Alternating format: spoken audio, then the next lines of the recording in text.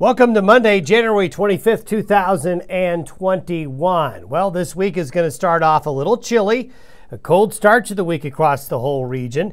We're going to have some unsettled weather. There's going to be a little bit of snow today and Tuesday. Not a lot, but a little bit, especially for folks in Colorado, Kansas, Nebraska, some parts of far southern Wyoming, as a small Pacific wave comes through, followed by another one tomorrow. Now, southwest winds will pick up midweek. What'll happen is we'll start the week cold. We'll have a warm up mid to late in the week. Then the weekend will bring a trough in. Similar type of trough to what we've seen here lately. Not a big storm system, but enough to bring the snow to the high country again. A little bit of snow to the plains. Maybe not unlike what has happened this weekend in some areas. It's going to be an active pattern for the U.S. If you're going to be traveling, across the lower 48 states over the next week or two, well, there's going to be plenty of winter weather going across the USA as the Pacific is throwing out storms. When the Pacific throws out storms, the U.S. weather pattern gets a lot more busy. You can see a broad trough of low pressure with the jet stream pattern today moving through the western United States. This little wave right here is what's going to produce snow over portions of Colorado and Kansas and Nebraska today, heading into the Corn Belt and Midwest with the northwest edge of the system getting to about here.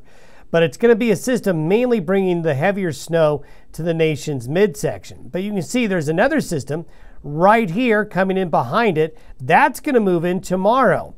It's a weak storm. It's just not well put together, but it'll bring another round of snow to the mountains of Colorado, a little bit of light snow onto the plains before it heads off to the Midwest, Corn Belt, and Great Lakes again, right behind the other system. So there are going to be two systems moving across the Midwest.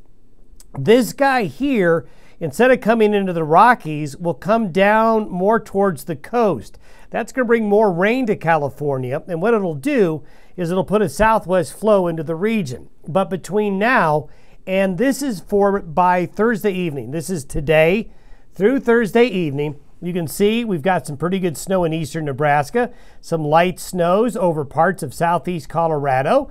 So there's going to be a little bit of needed moisture coming into here with lighter amounts east of the divide elsewhere. Look at the mountains of California, Nevada, Utah, Idaho. Uh, doing well. Look at the Sierras. They really need it. So that'll be good news there. In fact, the rainfall forecast for the West Coast is as good as it's been in months here over the next week or two. With these systems coming off the west coast and traveling through the region, that's going to keep the weather pattern active. Now, here is Thursday morning. Here's that southwest wind. So instead of winds coming in from the north, southwest winds will bring in milder air for midweek. Now, as we go forward into Friday night and Saturday, you can see that that trough begins to move inland.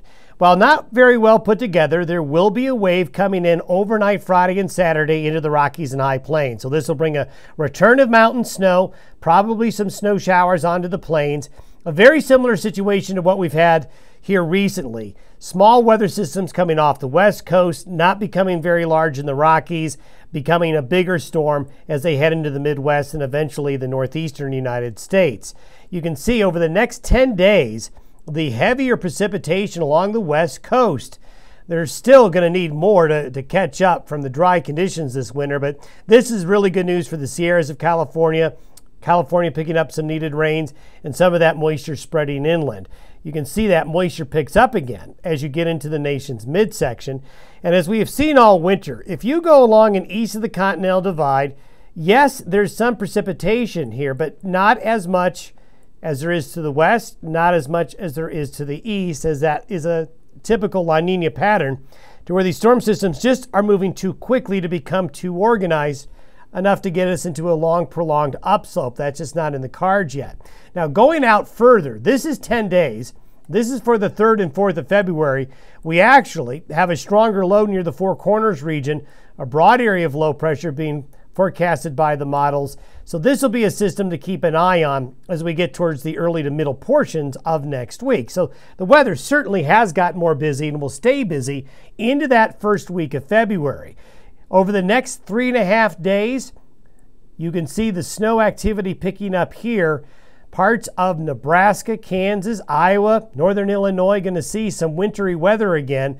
Could see some real heavy snows here over the next 24 to 48 hours for Lincoln and Omaha and Des Moines. So if you're going to travel I 80 watch for that here over the next couple of days.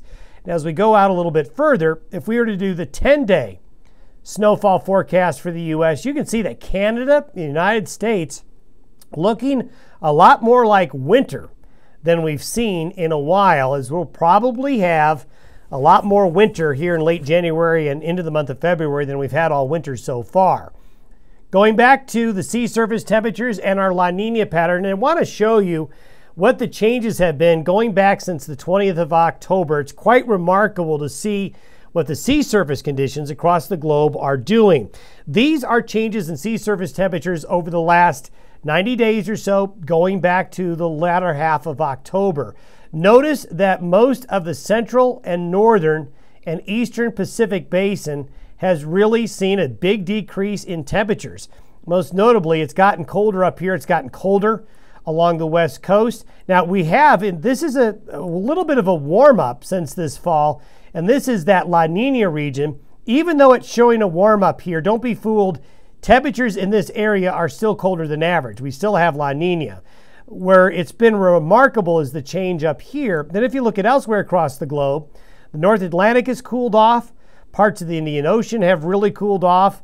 Big drop in sea surface temperatures in the southern Pacific, southern Indian Ocean, and as you get elsewhere between Africa and South America. So the global sea surface temperature pattern over the last three months has really dropped.